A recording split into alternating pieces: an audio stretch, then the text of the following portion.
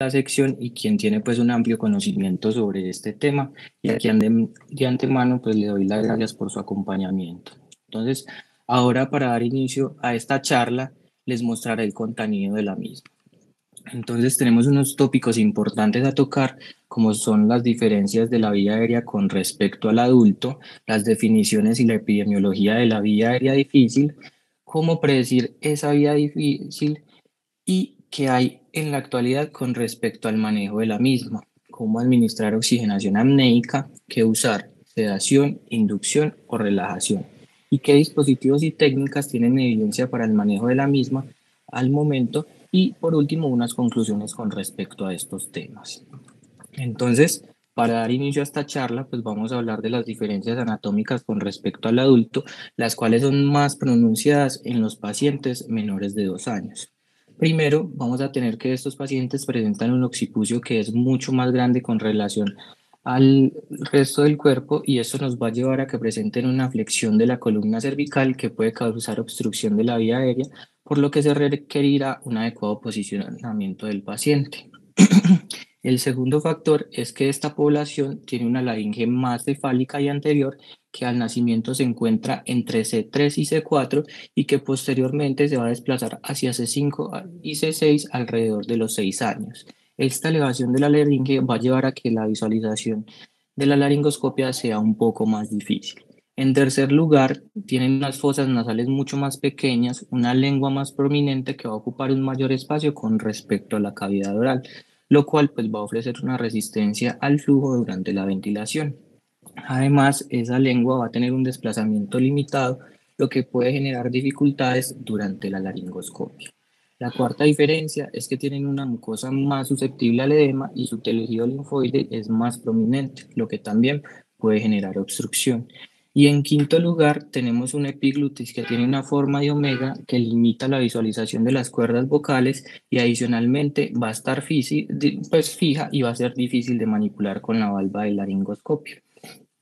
Pasando ya a las diferencias fisiológicas tenemos que estos pacientes van a tener una baja reserva y un consumo aumentado de oxígeno, lo que nos va a llevar a una menor capacidad funcional residual y lo que explica que te presenten una desaturación más rápida en comparación con los adultos. En segunda instancia, pues van a tener una mayor proporción de fibras respiratorias tipo 2 en el diafragma, lo que los va a hacer más susceptibles a la fatiga. Adicionalmente, pues van a tener una vía aérea inmadura que es fácilmente colapsable con una caja que es altamente distensible y un parénquima rígido, lo que también los predispone a desarrollar atelectasias.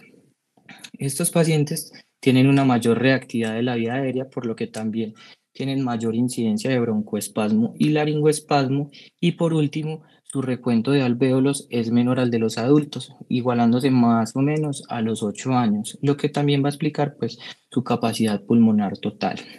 Adicionalmente, estos pacientes presentan un tono parasimpático predominante que hace que ante situaciones de estrés como la hipoxia presenten bradicardia y paro cardíaco.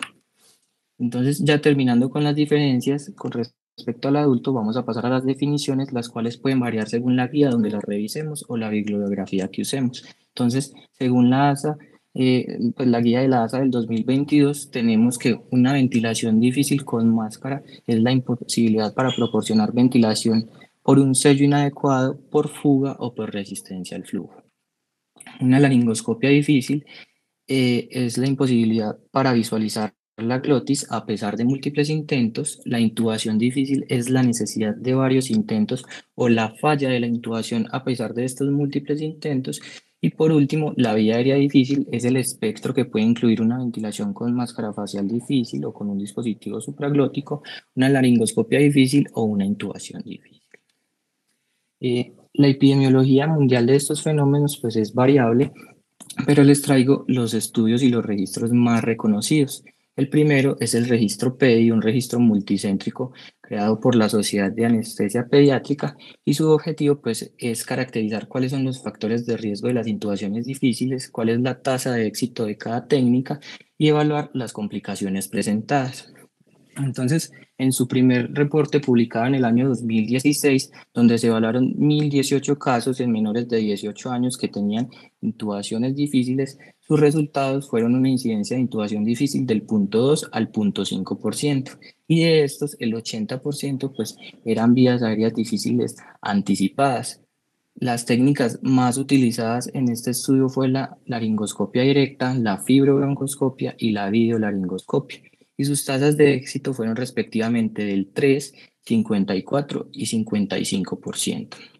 denotando una baja tasa de éxito sobre todo con la laringoscopia directa y otro resultado importante es que el 20% de estos pacientes presentaban al menos una complicación, siendo la más frecuente la hipoxemia, que se daba en el 9% de los casos. Y eh, el paro cardíaco se presentaba en el 2% de los casos. Otro hallazgo importante de este estudio fue que solo al 10% de los casos se les administró oxígeno suplementario durante el intento de intubación, lo cual también pues, los va a predisponer a un mayor riesgo de hipoxemia. Dentro de los factores eh, relacionados a una mayor incidencia de complicaciones se encontraron los pacientes que pesaban menos de 10 kilos, y adicionalmente se indicó que a mayor número de intentos, mayor eran las complicaciones que se presentaban, con un OR de 1.5 por cada intento. Además, en los casos en los que se realizaba tres intentos de laringoscopia directa, antes de pasar a una técnica indirecta, presentaron más complicaciones que en los que se hacía una transición temprana de la técnica. En este segundo estudio que les traigo, eh, que es un análisis secundario del estudio de Apricot que incluyó 261 hospitales de Europa y analizó 31.024 casos de actos anestésicos que eran llevados en pacientes menores de 15 años, se identificó una incidencia de intubación difícil del 0.28%. A su vez, pues también se identificó la tasa de intubación en cada rango de edad, siendo más alta en los recién nacidos y en los menores de un año. Y en concordancia con el PEI, encontró que con el aumento de los intentos aumentaban las complicaciones. Entonces, como primeras conclusiones, podríamos decir que la incidencia de la intubación difícil puede variar según la edad, que la mayoría de las vías aéreas difíciles en pediatría son predichas, que las tasas de éxito con laringoscopia directa son muy bajas, por lo que es una técnica poco útil en el manejo de la vía aérea difícil predicha estos pacientes presentan complicaciones que están asociadas a un mayor número de intentos, a una transición tardía en la técnica que se usa para la intubación o a los pacientes que pesan menos de 10 kilos. Adicionalmente, pues vamos a tener otros factores que se van a asociar a un mayor riesgo de intubación difícil y estos son los que vamos a mencionar en la siguiente parte, donde vamos a definir cómo predecir una vía aérea difícil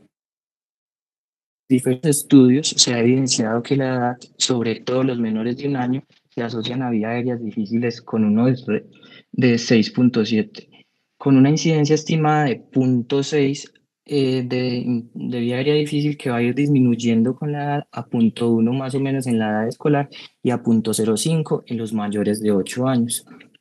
Otro factor importante es el peso, donde se ha visto que los pacientes que pesan menos de 10 kilos tienen una mayor incidencia de vida aérea difícil. Y otro factor muy importante es el antecedente de la intubación difícil previa, con un OR de 8.3.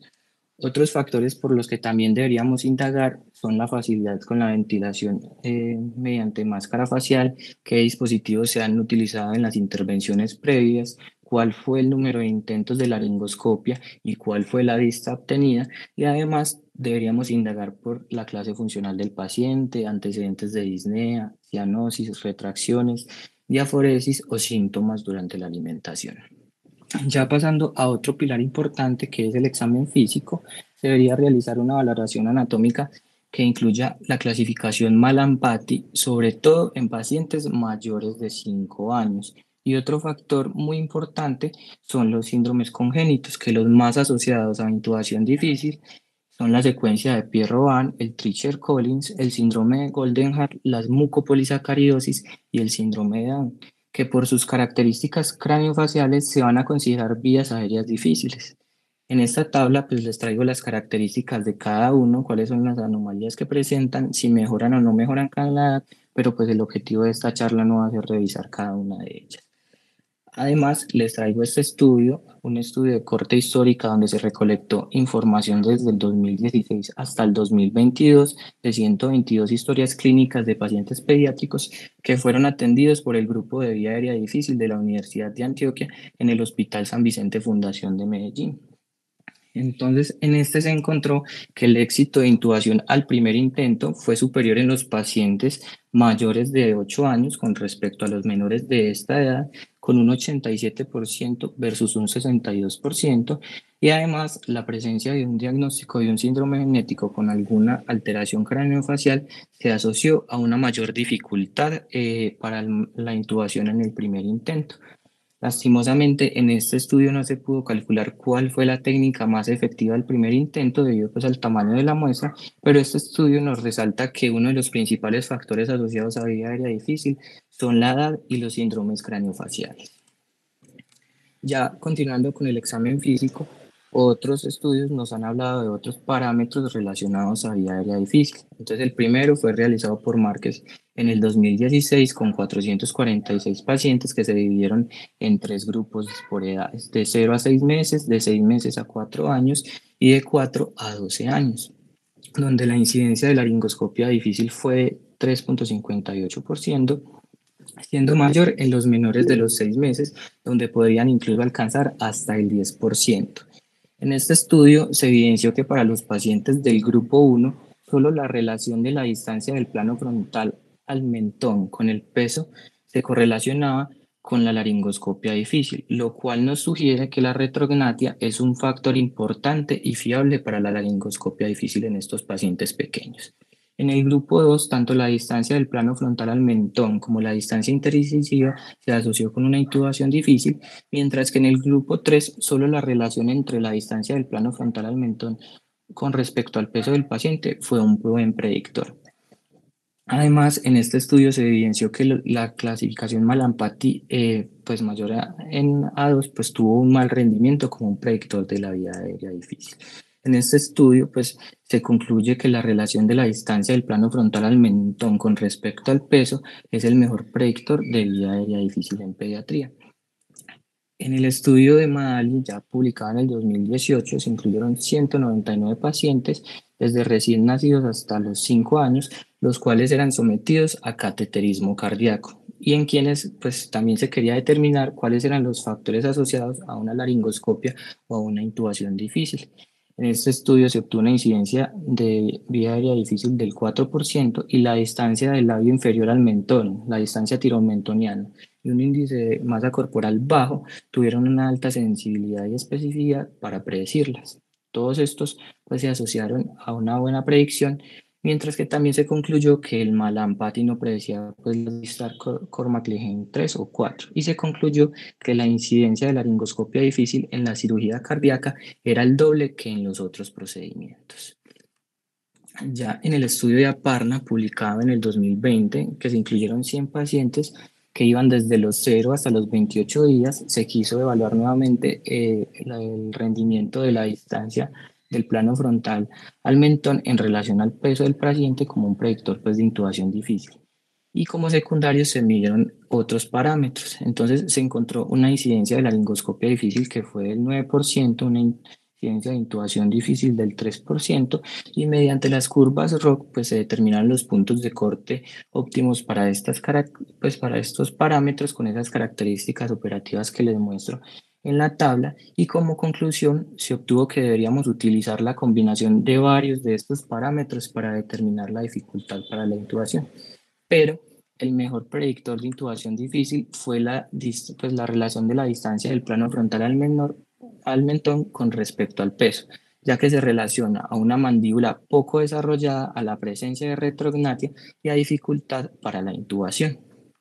Entonces, ya teniendo en cuenta todos estos factores y las características anatómicas, pues vamos a poder determinar una vía aérea difícil y eso nos va a permitir a su vez realizar un plan de manejo para el abordaje de este paciente, que garanticemos que la ayuda va a estar disponible en caso de que sea necesaria pues específicamente el abordaje quirúrgico de la vía aérea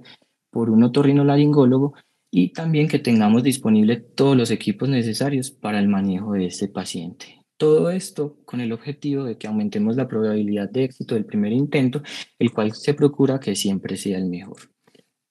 Entonces, ¿qué hay en la actualidad con respecto a este tema? Entonces, varias sociedades de anestesia y de manejo de la vía aérea han creado y recomendado algoritmos para el manejo de las vías aéreas difíciles en pediatrías y todas estas tienen algo en común, que es limitar el número de intentos, ya que como lo he mencionado, pues el mayor número de intentos se asocia a más complicaciones. Y además, estas sociedades resaltan la importancia de administrar oxígeno durante la intubación.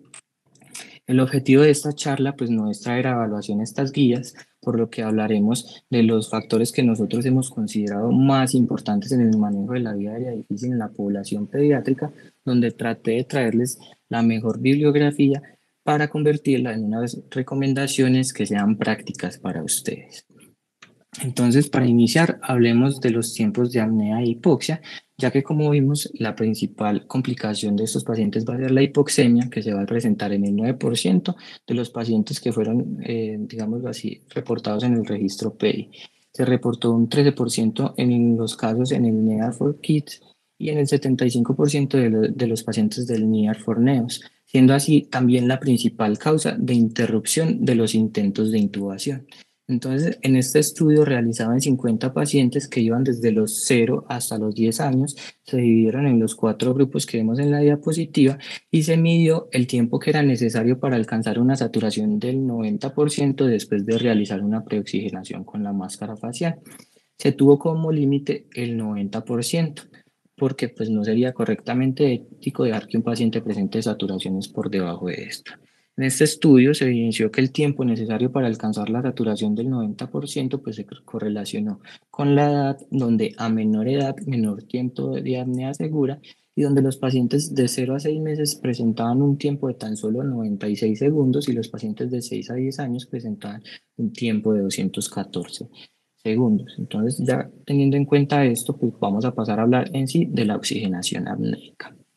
Entonces, la oxigenación apneica nos va a permitir retrasar la aparición de la hipoxemia y esta va a depender de las siguientes condiciones, que es obtener una adecuada preoxigenación que nos permita minimizar la presión parcial de nitrógeno y maximizar eh, el gradiente alveolo capilar de oxígeno, que haya un reclutamiento, lo que nos va a llevar a una mínima relación entre la ventilación y perfusión, que haya un flujo continuo de oxígeno hasta el alveolo, lo, que también implica que haya o que no haya obstrucción de la vía aérea superior o inferior y también debe haber apnea para que no entre o que sí, eh, aire ambiente por esfuerzo respiratorio pues, del paciente y que no nos vaya a disminuir ese gradiente capilar de oxígeno que ya habíamos obtenido. Entonces, en este punto también hay que resaltar que esta técnica se guarda exclusivamente para los pacientes con vía aérea no anticipado, a los cuales ya se les había llevado inducción y por tanto apnea. Mientras los pacientes con una vía aérea predicha, en ellos pues se procura mantener la ventilación espontánea, que esto sería pues el estándar de seguridad en ellos, y lo que deberíamos hacer es administrar oxígeno suplementario. Ambas técnicas pues las vamos a poder administrar mediante cánulas nasales convencionales, vías aéreas pues nasofaringias o incluso tubos eh, orotraqueales modificados en sistemas nasales humidificados y de alto flujo que incluso nos van a permitir administrar hasta 20 litros, hasta 80 litros minuto y también van a ejercer una presión positiva pues en la vía aérea. Entonces, para hablar de la oxigenación apneica, les traigo los siguientes estudios el primero fue publicado en el 2016, fue una RCT que incluyó 457 pacientes entre 1 y 17 años, en los que se evaluó la oxigenación apneica comparando la laringoscopia directa sola con la laringoscopia directa más oxígeno y ventilación y biolaringoscopia con oxígeno. Y se obtuvieron unos tiempos mayores de apnea segura cuando se administraba oxígeno suplementario. En el segundo estudio eh, se realizó en 48 pacientes que se dividieron en cuatro grupos según la edad y se quiso evaluar el tiempo de apnea hasta llegar a una saturación del 92% cuando se administraba oxígeno eh, por un dispositivo de alto flujo versus la no administración de oxígeno. Y también se obtuvieron unos tiempos mayores en los pacientes en los que se les administraba oxígeno a alto flujo. Posteriormente, Riva en el 2018 realiza otro RCT con 60 pacientes que iban de 1 a 6 años y comparó las cánulas nasales de bajo flujo a una dosis de 0.2 litros por kilo minuto versus dispositivos de alto flujo con un FIO2 al 30 y un FIO2 al 100. Y pues realmente no hubo diferencias significativas con las cánulas de bajo flujo y las de alto flujo al 100% con unos tiempos de 6.9 minutos y 7.6 minutos, mientras que en los dispositivos de alto flujo al 30% sí se encontraron unos tiempos más cortos. Por último, en el 2019 pues, eh, se publicó este estudio observacional con 365 pacientes entre los 0 y los 8 años en los que se comparó el uso de una cánula nasal a 5 litros minuto durante la intubación que era realizada por personal en formación, donde se evidenció que los tiempos hasta la saturación de 95 fueron mayores cuando se administraba pues también la oxigenación apneica mediante una cánula nasal a 5 litros por minuto. Entonces, estos estudios han llevado a que los autores sugieran que la oxigenación apneica sea un, un, estándar en la atención de cualquier intubación difícil anticipada o prolongada en niños. Y en caso de, la vía aérea eh, anticipada, pues se deberían implementar estos métodos como oxigenación suplementaria. Ya ahora vamos a pasar pues, a otro dilema en el manejo de la vía aérea difícil en pediatría, que es cuál técnica anestésica usar. Entonces, este debate ha llegado al punto de que algunos artículos lo comparan como quemar el puente con la anestesia general aboliendo la ventilación o caminar en la cuerda floja con el uso de la sedación que va a variar entre un plano superficial o la profundización que va a llevar pues, a la apnea. Entonces, en este punto también es importante establecer la diferencia de que por lo general pues, los pacientes con vía aérea no predichas ya habrán sido pues como inducidos eh, por lo que se van a encontrar bajo anestesia general con una abolición pues, de eh, la ventilación espontánea. Mientras en los pacientes con la vía aérea pues, predicha, sí hay cabida pues, de este debate. Entonces, en la actualidad, lo más común es que usemos los halogenados o medicamentos intravenosos para dar anestesia general, pero manteniendo la ventilación espontánea. Y esto va a ser seguro pues, eh, en los pacientes ya que nos va a permitir eh, administrar esas técnicas de oxígeno suplementario que ya habíamos mencionado. Pero algunos eh, anestesiólogos pues, defienden la sedación ya que esta pues, nos va a permitir también mantener esa ventilación espontánea, la capacidad también de despertar fácilmente al paciente y esto pues lo ponen como una ventaja sobre la anestesia general, pero pues si somos estrictos también podemos despertar al paciente bajo anestesia general. Y adicionalmente pues en este momento contamos con medicamentos como la ketamina que va a disociar el paciente y va a mantener ese driving respiratorio, al igual pues que los halogenados. Entonces, ya para hablar de este tema les traigo dos estudios que también son derivados del PEDI. El primero pues nos va a hablar sobre la ventilación controlada con o sin relajación muscular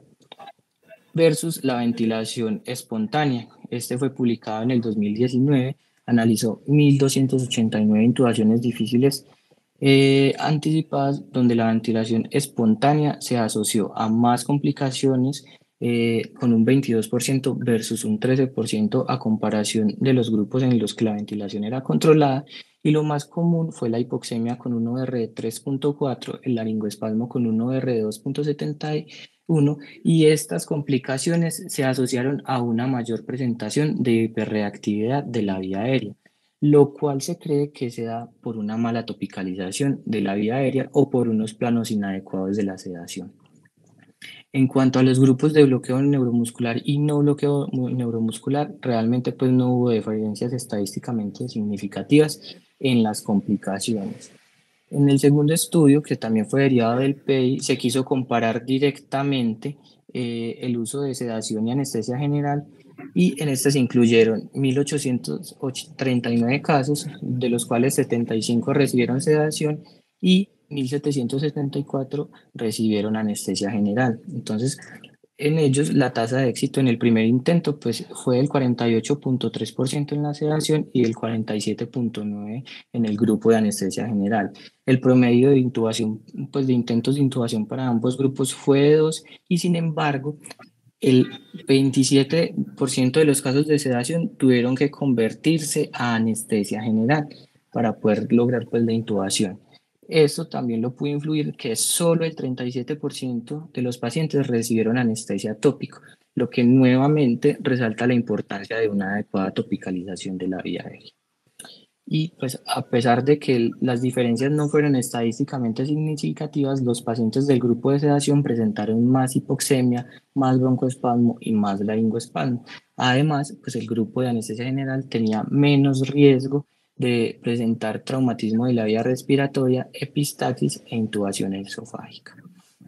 Entonces, teniendo en cuenta esta evidencia, por ahora pues la mejor eh, opción sería la anestesia general, ya que se va a asociar sobre todo a menos presentación de complicaciones sin un real aumento de la tasa de éxito, pero hay que tener en cuenta que como lo vimos en estos estudios, pues la topicalización de la vía aérea es un factor muy importante en el éxito de las técnicas con ventilación espontánea. Por ahora, pues nuestra recomendación es individualizar cada paciente teniendo en cuenta el contexto clínico, donde las vías aéreas predichas, el estándar de seguridad es mantener la respiración espontánea. Con respecto a la relajación, pues no hubo diferencias estadísticamente significativas en cuanto a las complicaciones, como ya les había mencionado, y esta se debe reservar realmente para los pacientes con una vía aérea difícil no predicha en los cuales los intentos de optimizar pues, las, eh, las condiciones no han sido efectivas y utilicemos la relajación como un método para optimizar otras técnicas como la ventilación o la intubación. Y definitivamente el uso de relajación eh, no está recomendado en los pacientes que presenten mucopolisacaridosis, antecedente de radioterapia en cabeza y cuello, masas en las vías respiratorias o compresión externa de la misma por el alto riesgo de colapso pues, que tienen estos pacientes. Ya pues ahora vamos a pasar como al tópico más importante de la charla que es el qué dispositivos y técnicas tienen evidencia en esta población y para hablar de esto pues primero quería traerles como a colación que uno de los principios de la vida aérea es que prima la oxigenación sobre cualquier otra cosa, por lo que no se nos debe pues olvidar que nuestro objetivo es oxigenar al paciente, no intubarlo.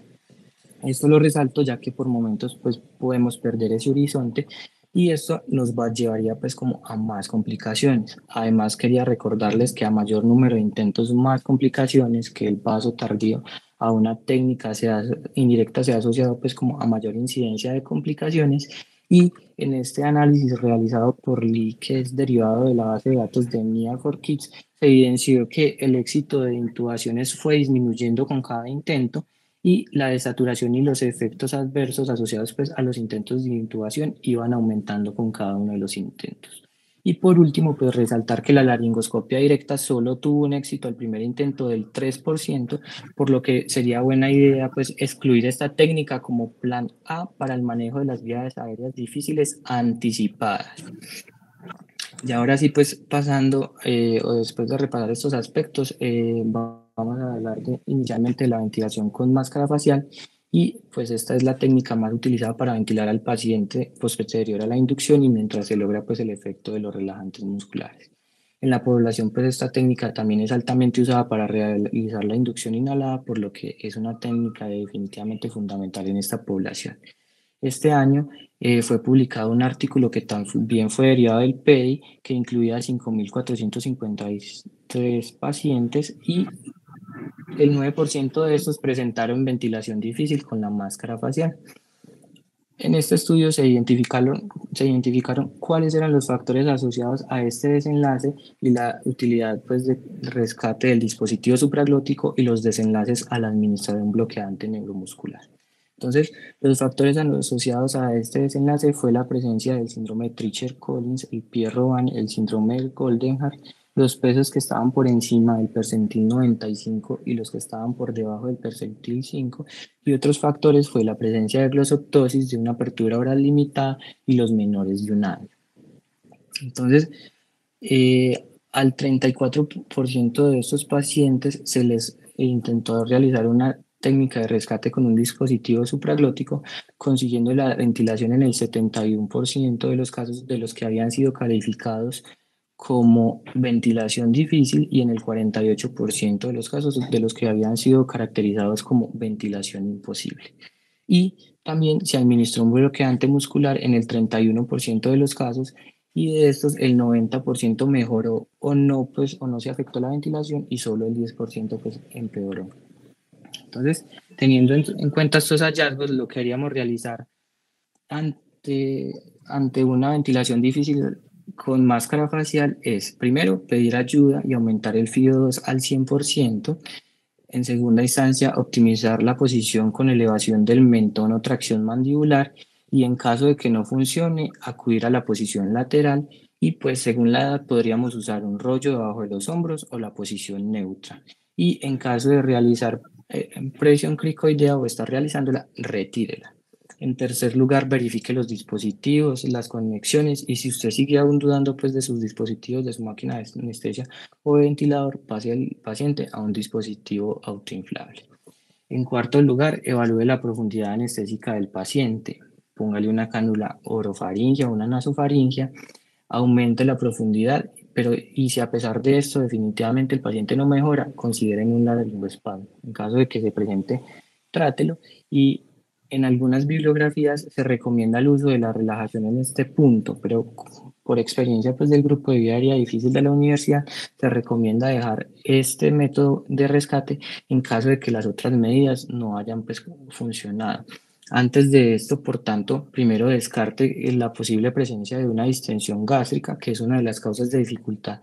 para la ventilación en la población pediátrica y si es necesario, pues trátela con una sonda nasogástrica. Por último, acuda pues como eh, en última instancia a su plan A de intubación o a su plan B de rescate con un dispositivo supraglótico, incluso pues adicionando ahora sí el relajante eh, neuromuscular para optimizar las condiciones en estas, eh, digamos así, medidas de rescate. Ahora ya pasando pues a las técnicas de intubación, tradicionalmente las técnicas pues más utilizadas para la intubación ha sido la laringoscopia directa, pero como vimos pues su efectividad de éxito al primer intento, su éxito al primer intento, digamos lo que solamente ha sido del 3%, por lo que las técnicas direct, e indirectas han tomado gran importancia en esta población como primeras opciones. Y entonces dentro de estas tenemos el videolaringoscopio, el cual con el paso del tiempo pues, ha venido evolucionando, se han introducido toda esa cantidad de dispositivos para el uso en la población pediátrica y tanto las valvas estándar como hiperanguladas se han usado en esta población. Pero aquí, y lo que queríamos preguntarnos era cuál era la utilidad de este dispositivo en la vida aérea difícil pediátrica. Entonces,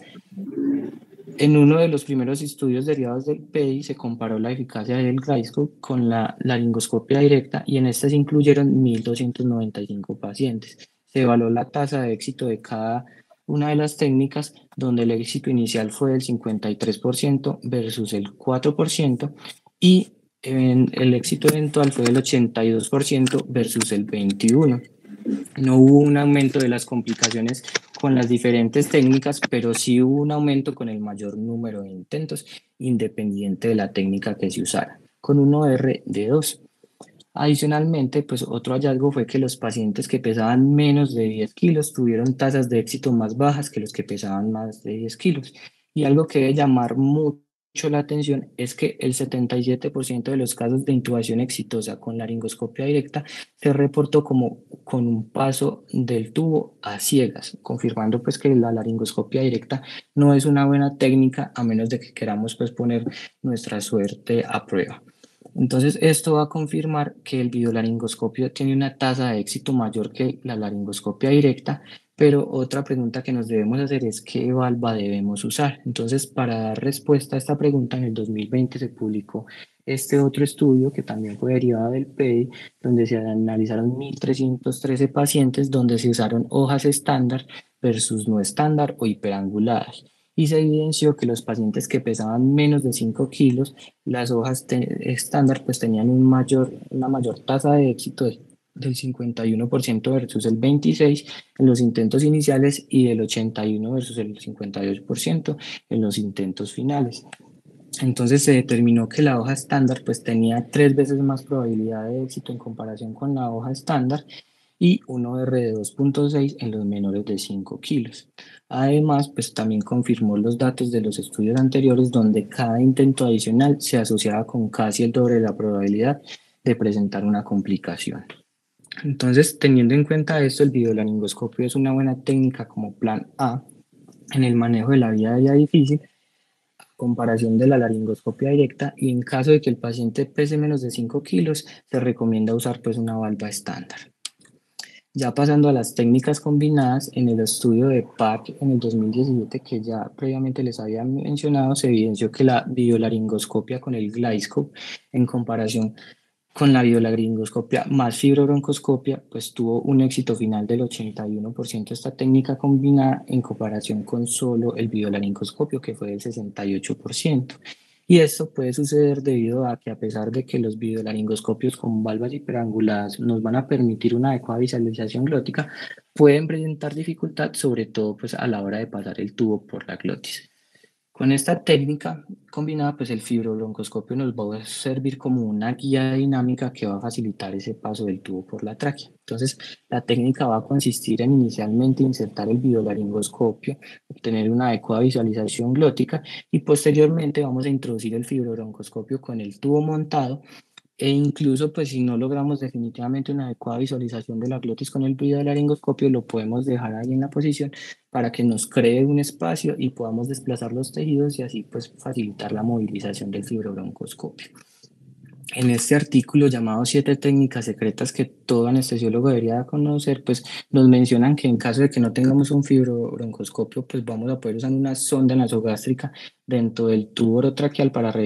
para realizar una intubación nasotraqueal y así pues no tener que manipular el tubo con las pinzas, más fácil se manipula la sonda, se introduce en la glotis y luego se avanza el tubo. Pero, pues desde la experiencia del asesor de esta charla, mm, resulta más práctico realizar esta técnica con un buggy o un proa que también nos va a permitir pues la oxigenación y el posterior avance del tubo. Ya retomando pues el fibrobroncoscopio con el videolaringoscopio, pues esta técnica va a tener unas limitaciones, que es que se debe tener en cuenta el tamaño del fibrobroncoscopio y los tubos que se pueden usar con el mismo. Entonces, para esto les traigo esta tabla con las diferentes fibrobroncoscopios pediátricos disponibles y los tubos que pueden usar con cada uno de ellos. El más pequeño pues va a tener un diámetro de 2.2 milímetros, pero este es poco disponible. Por lo general vamos a contar con los fibros pediátricos con los cuales podemos usar tubos de 4 en adelante, lo cual pues sería su primera limitación. Y como segunda limitación tenemos el requerimiento de dos operadores, uno que manipula el videolaringoscopio y el fibrobroncoscopio. Pero pues a pesar de estas limitaciones va a seguir siendo una buena técnica para el abordaje de la vía aérea difícil en pediatría. Ya en sí, la fibrobroncoscopia sola, como vimos en el PEI, pues tuvo una tasa de éxito del 54%, la cual es alta,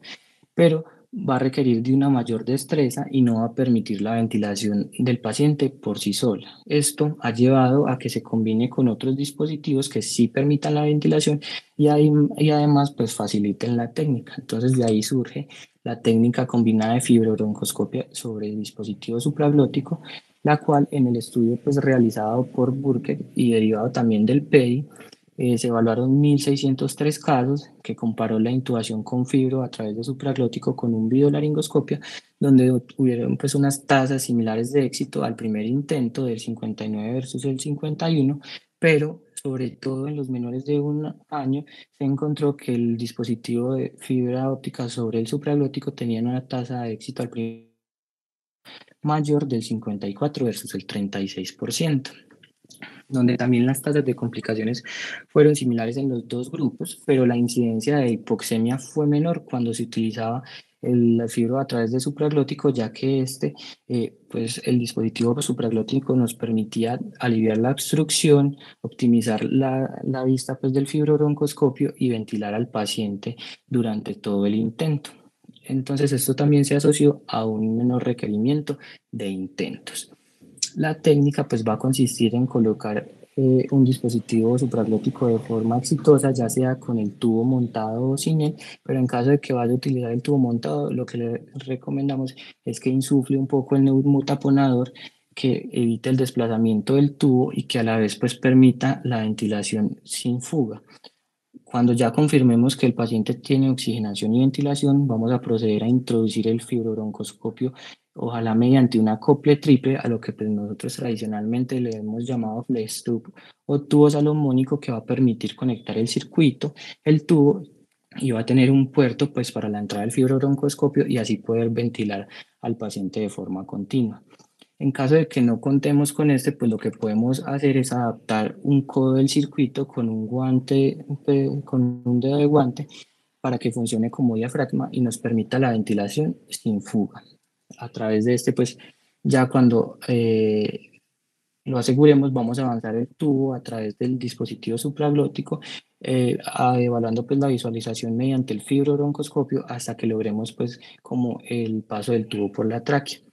Dentro de ese artículo que ya les había mencionado de los siete secretos, también se dice que podemos tener problemas pues como al momento de pasar el tubo, ya que si lo introducimos eh, como viene preformado, el agujero de Morphy va a quedar hacia la derecha y en este caso puede chocar con el y después de ese mismo lado. Si esto nos pasa, lo que podemos hacer es retirar un poco el tubo, girarlo 90 grados en sentido contrario de las manecillas del reloj, o pues para evitar este problema, eh, desde el inicio podemos introducir el tubo con el bisel hacia la parte de atrás, pues cuando nos ubicamos desde la cabecera del paciente, lo que va a permitir que el bisel se ubique hacia la parte posterior de la glotis. Como segunda opción, pues para evitar esto, lo que también podemos hacer es una mm, manipulación laringea externa o retirar un poco el fibrobroncoscopio que quede justo en el tubo y con los movimientos del fibro evadir la obstrucción. Acá les traigo pues cómo es el acople triple y ya pues se ha evidenciado que esta técnica ha sido muy útil en neonatos y lactantes que también han presentado criterios de ventilación difícil. Incluso pues hay casos reportados en estos pacientes en los que se introducen estos dispositivos sin requerimiento de anestesia general, solo con la topicalización de la vía aérea. Eh, pero en esta técnica pues hay que tener en cuenta un factor muy importante e incluso que puede ser un limitante es que se debe tener en cuenta el tamaño del tubo que se acopla a cada dispositivo supraglótico. Entonces, les traigo este cuadro eh, donde están los dispositivos supraglóticos más usados en esta técnica, los cuales son de segunda generación, lo que también puede ser un limitante ya que en todas las eh, digamos, instituciones no están disponibles estos dispositivos, pero en este artículo se describe el uso de un dispositivo de primera generación para esta técnica, donde se usa eh, un tubo 2.5 sin valor a través pues, de una máscara clásica. Pero en este punto pues también les traigo dos recomendaciones importantes. Una es que a pesar de que tengamos esta tabla, pues siempre debemos confirmar el paso del tubo por el dispositivo supraglótico y del fibro por el tubo antes de que iniciemos ese procedimiento para que evitemos complicaciones o retrasos durante el mismo. Y adicionalmente, en las máscaras laringeas muy pequeñas, recomendamos pues como el uso de los tubos sin balón, ya que el neumotaponador puede que no pase a través del dispositivo supraglótico. Y otra opción pues, que se puede plantear es cortar el neumotaponador y luego reconstruirlo con un angiocatéter y ponerle una valva unidireccional eh, que nos va a permitir insuflarlo y que permanezca inflado. Otro pues, punto importante a tener en cuenta en, este, en esta técnica es en el momento de retirar el dispositivo supraglótico, ya que se puede presentar extubaciones accidentales, eh, ya que por lo general los tubos tienen la misma longitud que la máscara eh, laringia, lo cual puede eliminar pues, su avance. Entonces lo que se recomienda es empujar el tubo ya sea con una pinza, con un dispositivo comercial que traen algunas de las máscaras laringias o pues también lo que podemos hacer es modificar un tubo del mismo diámetro, se recortan pues, cada uno de sus extremos y se usa pues como un introductor. En cuanto a la evidencia, pues el grupo de vida difícil de la Universidad de Antioquia, del cual hace pues parte el doctor Juan Luis, eh, publicó estos dos estudios, el primero en el 2018, que es una serie de casos prospectiva con 39 pacientes en los que se evaluó la tasa de éxito de intubación a ciegas a través de una máscara IGEL, la cual eh, el, el, éxito fue solo del 23%, pero como un hallazgo adicional se observó que la visión glótica era ideal en el 70% de los casos. En el segundo estudio, publicado en el 2021, se realizó pues, un ensayo controlado aleatorizado con 41 anestesiólogos y residentes de anestesia, donde se asignaba pues, como al azar hacer intubaciones en un simulador pediátrico con un fibrobroncoscopio sin introductor o con una máscara Uragen como conductor. Y el resultado fue que la tasa de éxito del primer intento realmente no mostraba pues, una diferencia estadísticamente significativa y había un mayor tiempo para la intubación cuando se usaba pues, el dispositivo supraglótico pero pues esta evidencia deberíamos confirmarla en humanos. Por ahora, pues esta técnica combinada tiene un buen rendimiento y es una de las más útiles como plan A en el manejo de la vía aérea difícil anticipada y como rescate en la vía aérea no anticipada, con la ventaja que nos va a permitir ventilar al paciente de forma continua mientras se realiza la técnica. Por último, pues vamos a pasar al escenario de no ventilación, no oxigenación, lo cual pues es una situación catastrófica. Y realmente en caso de que se presente, lo ideal sería tener disponible un otorrinolaringólogo que realiza ya sea una traqueostomía o una broncoscopia rígida como la recomiendan las guías. Y en caso de que no esté disponible, pues definitivamente eh, nosotros como anestesiólogos seríamos los responsables de actuar ante esta crisis, pero el problema es que ninguna técnica pues ha demostrado ser superior a las demás. Entonces, los diferentes estudios nos han mostrado que cuando hacemos una técnica eh, invasiva en la región anterior al cuello, las tasas de éxito han sido bajas y se han, asociado con, eh, se han asociado con altas complicaciones como las rutas falsas, la, la perforación de la pared traqueal posterior y el daño de órganos adyacentes por lo que hasta el momento pues realmente no se comienda ninguna de las eh, técnicas y se ha demostrado que el rendimiento pues, de la palpación en la población pediátrica ha sido muy bajo con los valores que les muestro pues, en la diapositiva y se cree pues, que la ecografía podría facilitar la, la identificación de la membrana o de la tráquea, pero también hay que tener en cuenta que esto es una técnica que es operador dependiente y que es poco usada, por tanto pues eh, vamos a tener una poca familiaridad con esta. Entonces, por tanto, en,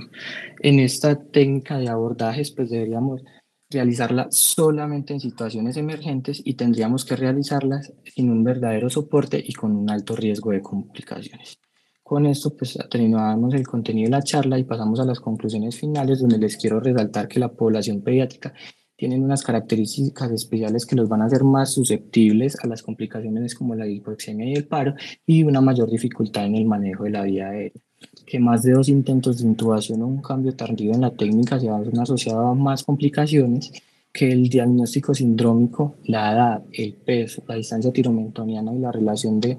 del plano frontal al mentón con respecto al peso son los mejores predictores de la vía aérea difícil en pediatría que el uso de oxigenación suplementaria debería adoptarse como un estándar de manejo en la vía aérea difícil predicha, al igual que la oxigenación apneica en la vía aérea no predicha, que la topicalización de la vía aérea es fundamental en las técnicas que se realizan con ventilación espontánea, que en la vía aérea anticipada se debe procurar mantener la respiración espontánea como un estándar de seguridad, mientras que en la vía aérea difícil no predicha, se puede acudir a la relajación como una técnica para la optimización de las condiciones en caso de que las medidas anteriores no hayan sido efectivas, que se debe tener como principio siempre la oxigenación del paciente independiente de la técnica que se esté usando, que se deben implementar técnicas indirectas o combinadas pues, según la disponibilidad de los equipos y la experiencia del anestesiólogo y como bonus que la retrognatia es un buen predictor de la vida aérea difícil que siempre debemos medir los dispositivos antes de usarlos y en caso de no ventilación, no oxigenación, pues realmente no hay una clara recomendación sobre la técnica que debemos usar. Y damos por terminado pues este gran seminario del día de hoy. Muchas gracias por su atención y en este QR les dejo la bibliografía pues usada para la realización de esta eh, charla.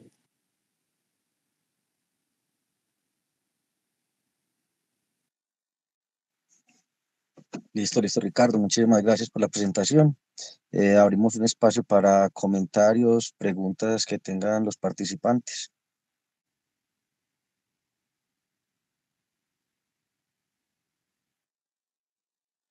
El doctor Mario Zamudio tiene levantada la mano. Bien pueda, profe. Bueno, Ricardo, pues primero, pues felicitaciones, una buena charla, muy buena, eh, completa, de hecho, un poco densa, pero es porque el tema, pues, abordaron desde las diferencias anatómicas hasta las habilidades manuales. Eh, y eso, pues, es, es, un reto en este, en este contexto pediátrico. Pero pienso que los tips prácticos, eh, ahí hay mucha experiencia acumulada de cosas tan sencillas como, que parecen sencillas como el retiro de un supraglótico, pero que no lo es. Y cuando uno va a hacer en la práctica, si no tiene esos tips prácticos, mm, se podría haber enfrentado a una falla de la intubación. De hecho, en, en las cortes que usted muestra, llama mucho la atención que el éxito sea muy bajito, o sea, cercano al 40%. Y que la laringoscopia directa en anticipada sea solo del 3%. O sea, eso nos debe hacer llamar la atención de que realmente estos pacientes que son raros, que la incidencia es menor que el del adulto, sí son mucho más difíciles, que está supremamente claro pues en las diferentes cortes que usted mostró. Entonces, muy bien por la presentación de acuerdo con los tips prácticos. Importantísimo resaltar las técnicas de fibroscopia sobre supraglótico, que al fin de cuentas van a brindar tanto la visualización como la oxigenación continua, siendo pues ahí una muy buena combinación en este escenario, que como usted lo mostró, tiene una susceptibilidad al apnea. Dos preguntas. Entonces la primera es, bueno, listo. Queda claro que estos pacientes requieren un manejo especial. ¿Por qué, a pesar de eso, todavía se ven complicaciones en vía difícil anticipada en pediatría? Gracias. La, la primera pregunta. Eh, ¿Hay alguien que tiene abierto el, Aldair tiene abierto el micrófono? La segunda pregunta es, bueno, listo. Si usted tuviera la forma de crear un servicio de vía aérea en pediatría, ¿Cómo haría para mejorar esos porcentajes de intubación? ¿Qué estrategias utilizaría para mejorarlas? Basado pues en lo que aprendió en la charla a futuro, ya como anestesiólogo. Si usted fuera a armar un servicio de estos, con atención a estos pacientes, ¿usted en qué se enfocaría para mejorar la atención y la intubación y el manejo alrededor, porque no solo el tubo, la, el manejo de de la vía difícil predicha en pediatría? Listo, profe. Muchas gracias por los comentarios y pues ya respondiendo a la primera pregunta, se siguen presentando complicaciones por las cosas que también mostré en la charla. Una es que hay una mala topicalización de la vía aérea, que eso puede ser un factor muy importante, sobre todo en esas vías aéreas predichas en las que queremos conservar eh, la ventilación espontánea, pero como vemos, pues si no la topicalizamos bien, vamos a tener una mayor reactividad de la vía aérea y más complicaciones, sobre todo respiratorias, y otro es que todavía, digámoslo, no hay como un medicamento o un estándar de manejo en cuanto a la técnica anestésica que nos permita mantener esa, esa ventilación espontánea, porque pues tenemos la ketamina, los halogenados, pero y últimamente pues se ha utilizado la exmedetomidina y pues digámoslo así, todavía no es como muy claro qué debemos usar, pero yo creo que uno de los factores más importantes es esa mala praxis en, en cuanto a la topicalización de la vía aérea. Mire que los estudios mostraban que la, la, tasa de topicalización era solo del 37%. Entonces yo creo que este es uno de los factores que más debemos reforzar. Eh, en cuanto a la creación del servicio, yo creo que se tiene que hacer énfasis en la valoración preanestésica de forma que pues, eh, identificamos cuáles son esos factores que hacen que ese paciente tenga una vía aérea difícil lo otro sería que ojalá pues esos intentos se realicen por la persona que tenga más experiencia en manejo de vida aérea difícil pediátrica y que tengamos disponible esos dispositivos que como ya lo mencioné, probablemente, por ejemplo, el fibro más pequeño no lo tengamos disponible en todos los servicios. Entonces, eh, la inclusión de estos dispositivos pues también nos facilitarían eh, el manejo de estos pacientes en específico. A veces pues lo que se presenta es que eh, puede que estos pacientes sean manejados por eh, anestesiólogos que tienen poca experiencia en vía aérea difícil y poca experiencia en pediatría. Entonces eso también pues lleva a mayor tasa de complicaciones.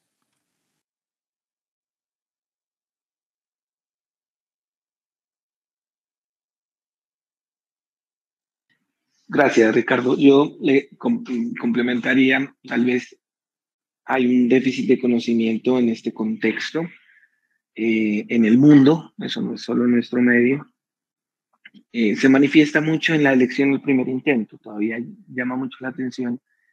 que la naringoscopia directa siga siendo un primer intento común cuando, cuando el soporte está, por supuesto que, que es, el, es el, el, menos eficaz de todas las, la menos eficaz de todas las técnicas y muchas veces porque uno se siente más cómodo con la técnica. Normalmente te va supremamente bien, pues aquí también, pero no. Vemos que solamente el 3% de éxito depende, depende de la corte, pero siempre es, muy bajito y suele estar inferior a los otros dispositivos. Mm, excepto, por supuesto, los pacientes muy, muy, muy, muy pequeñitos. Mm, si no se tienen los dispositivos, pues la laringoscopia recta sí podría ser una opción, pero es porque no hay equipos, básicamente, no, no por eficacia de las técnicas. Eh, y creo que la experiencia, lo que usted menciona con respecto a las curvas de aprendizaje, para volverlo un poco más explícito, eh, debe ser adquirida y mantenida en el tiempo. Como esto no se suele hacer, usted no suele hacer intubaciones de fibroscopia sobre supraglótico, puede que las aprendiera en la residencia, si estuvo pues en la fortuna de tener un posgrado donde, donde se miran esas técnicas avanzadas, como en nuestro servicio. Pero si usted no las hace, a los tres años, dos años de graduado, el día uno de graduado, se va a sentir incómodo en utilizar una técnica alternativa, es porque simplemente uno pierde las curvas. Entonces el reentrenamiento es fundamental pues, para mejorar este escenario que ha sido un reto, ha sido muy difícil y sigue siendo una preocupación hoy el manejo de vida difícil peredicha en pediatría. Gracias, Ricardo.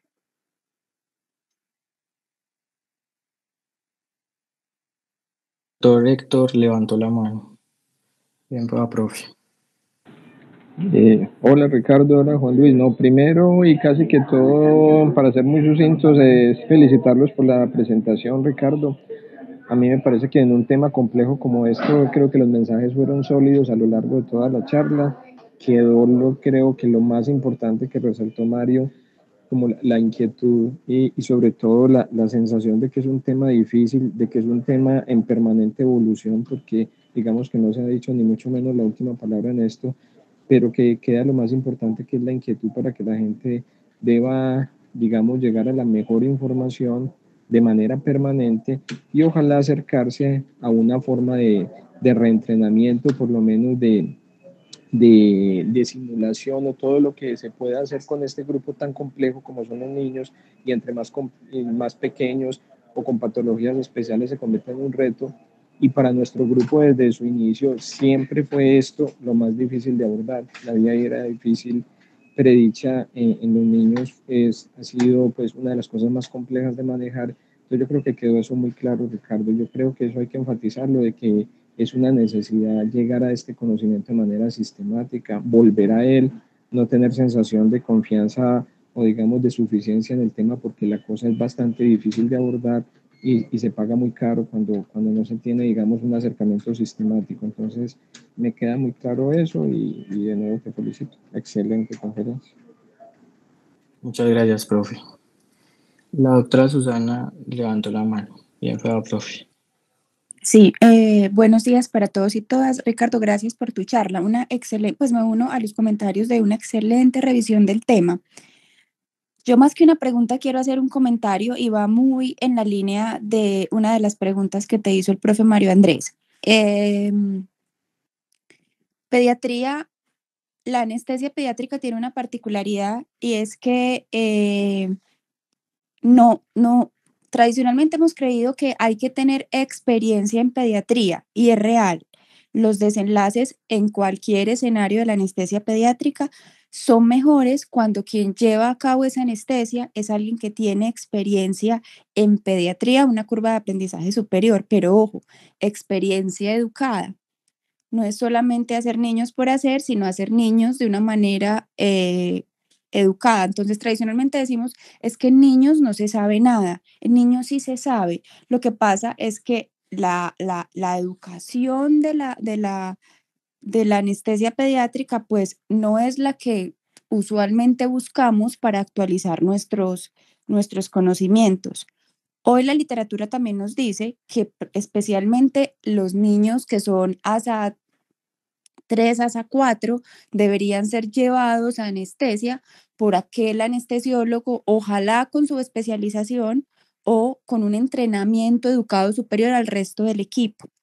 Asimismo, es la vía aérea difícil en los niños. Entonces, esos equipos que se dedican a dar anestesia pediátrica serían los que deberían tener mayor entrenamiento en la vía aérea pediátrica. Deberían existir esos equipos en los hospitales, los que sí tienen experiencia. Mire que datos tan sencillos como que el laringoespasmo es más común en quien no tiene entrenamiento que quien tiene entrenamiento y que eso se puede ver en hipoxias cerebrales como consecuencia de los niños. Entonces usted dice, los lugares que hagan anestesia pediátrica tendrían que tener un equipo que se dedica a los niños, porque el evento de la vía aérea difícil en pediatría es inferior, pues es, es, mucho menos frecuente que la vía aérea difícil en el adulto. Entonces, si encima de todo el evento es infrecuente, cuando todo el equipo en general va a tener todas las curvas de aprendizaje de todas las curvas de aprendizaje que se requiere. Entonces, se deberían tener equipos para, la, para los niños y garantizar un, eh, un acto anestésico seguro, que es lo que los niños no estamos garantizando. Es imposible tener un entrenamiento en todos los grupos de, edad de todo lo que se debería tener. Por eso uno debería sí segmentar las poblaciones de mayor riesgo. Gracias por la charla nuevamente. Yo sí te doy un consejo y es hacer las diapositivas menos cargadas porque el contenido de tu charla es altamente valioso y las diapositivas agotaban un poquitico, pero eh, digamos que es, es, es, algo más de, de forma que de fondo, una gran revisión de tema. Muchas gracias, doctora, por sus comentarios y sus recomendaciones. Y también primero uno a el comentario de la profe que sí debería realizarse el manejo de estos pacientes por un grupo que tenga experiencia pues en esto, ya que se ha demostrado que hay menos complicaciones cuando es así. Bueno, Richard, yo creo que no hay, no sé si alguna otra persona tiene algún otro comentario o inquietud. Eh, si no podemos dar ya por terminado la actividad. Nuevamente, pues, un tema complejo para sintetizar, pues, en, en una sola, como desde el principio lo lograste muy bien y como reconocieron los participantes. Eh, muchísimas gracias por todo el esfuerzo realizado y por la presentación.